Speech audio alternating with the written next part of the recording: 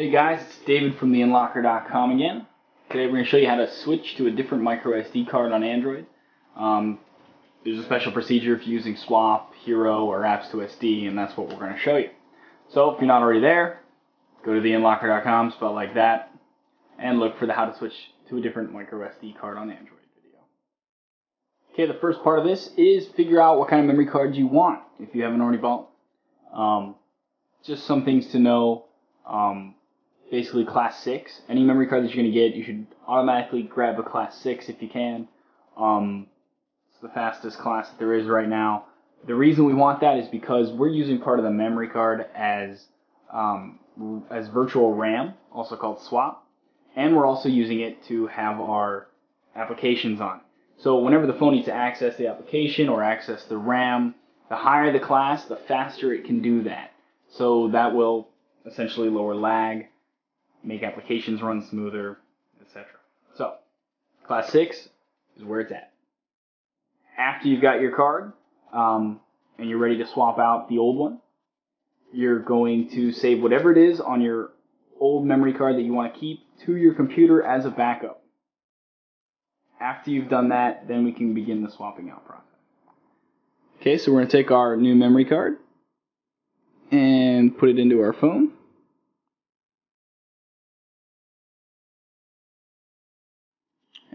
And then we're going to turn the phone off.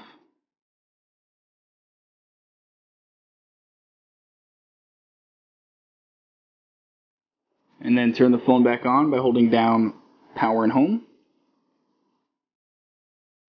until we get to our recovery screen.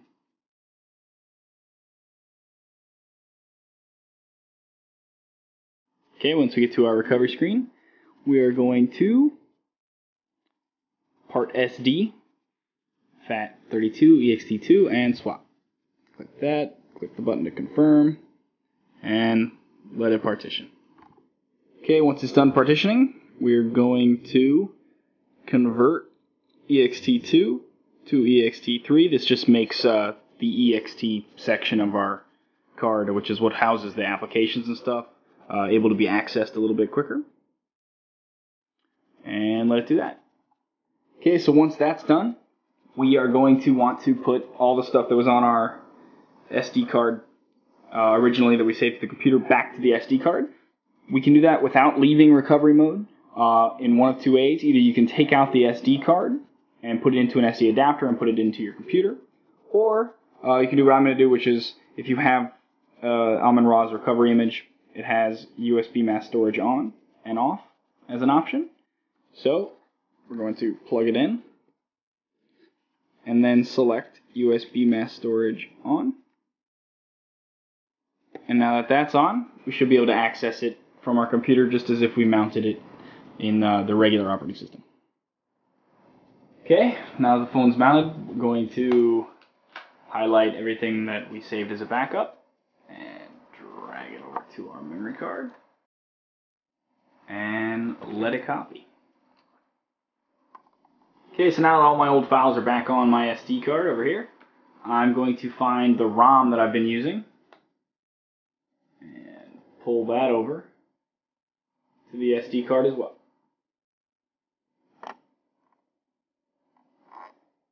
Okay, once it's downloaded to the SD card, we're going to rename it to Update, as always, and then we can close out the SD card.